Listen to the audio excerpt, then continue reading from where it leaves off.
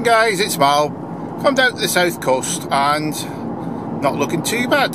The weather forecast for today is a few sharp showers. Uh, high, high tide is just before lunch and we got a low tide about 3 o'clock in the afternoon so it's set up pretty nice for a hunt today. Now I was going to be going to my Roman field but unfortunately last week I ended up with a little operation on my hip uh, so I ended up missing out on my Roman field for this year. Went to see Brian the farmer and he says, oh sorry Malcolm but we've ploughed and seeded it so we'll have to wait till next year.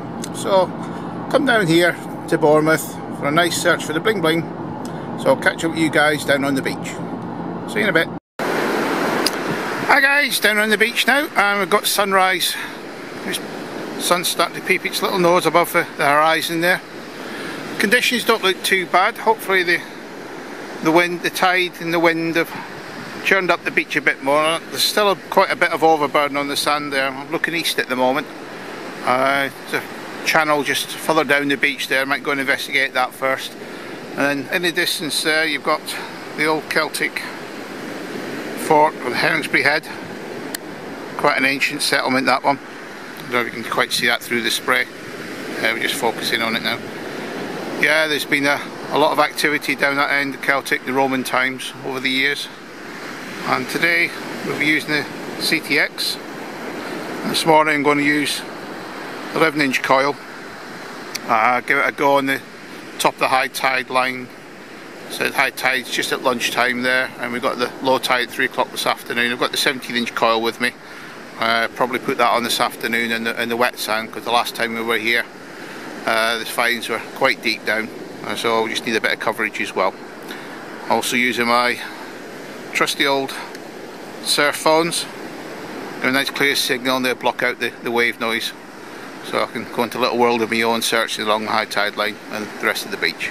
So I'll catch up with you guys later on with the fines and hopefully we have a good day.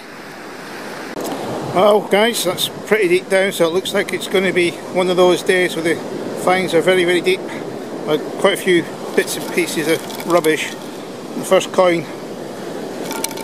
little 5p in there but you can see that's one of the older ones it's getting quite tarnished. So it looks like there'll be not many finds today but if they are they will be deep. Hey a pound first one of the day. Yeah get in Let's hope that's the first of many. Just for a change, looks like we got a 20p. Well, I've got a nice strong signal here, sounded like a pound. Let's see if it's a pound. And there he is, look at that. CTX never fails me with that tone. Another pound coin.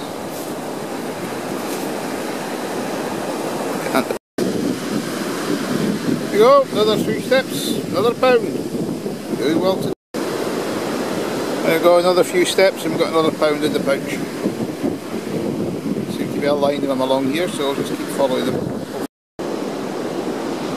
Okay, it's got a bit of a scratchy tone there, and looking on the end of the scoop, I thought I'd found a piece of fishing line. And then I just looked underneath, and we got a bracelet, uh, a necklace is dangling off there. Let's get looked a bit better. Oh, oh. now my feet have got wet again. oh well, that's what happens when you search in the wet. Got nice little necklace, silver, and looks like Denise, Janice or whatever, a little love heart on it. That's a nice little thing. Same with the chain, chain's broken. Well, we'll get that in the fines pouch and have a good look at that one. Looks like we've got a pair of kamikaze dogs up there. Mr Bassett and Mr Labrador just sitting on the roof there. Barking at everybody going past. A bunny dog.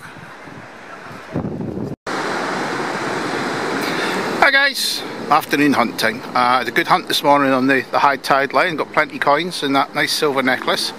Uh, I've changed over now the 17 inch coil Now that the tide is going out, uh, need a bit of extra depth as the sand that's been washed down off this high tide line. Can you see that there?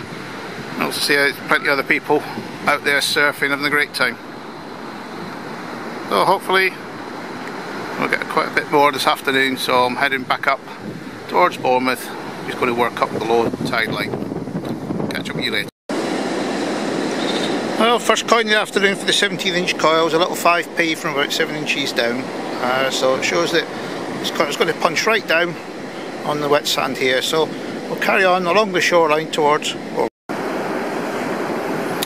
Hi guys, just done a little sit down. Uh, we've come from the pier in the distance there and we're heading towards Bournemouth. We're halfway there now. The low tide's in about, about half an hour, 40 minutes. And a bit disappointing really. Two one pound coins, three 5p's, a 20p. That's about it.